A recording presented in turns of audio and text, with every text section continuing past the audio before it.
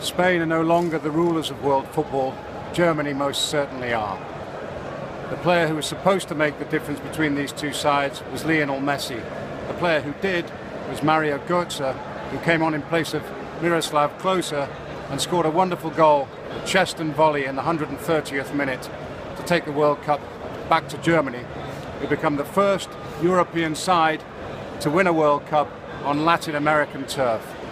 That's a seismic moment, and most people here feel that if these players can stay hungry, then Germany can go on and dominate for the next six to ten years. Argentina fans invaded the Maracanã, invaded Rio de Janeiro. They tried to make the city and the stadium their own, but in fact, it was German planning and know-how and intelligence that won the day.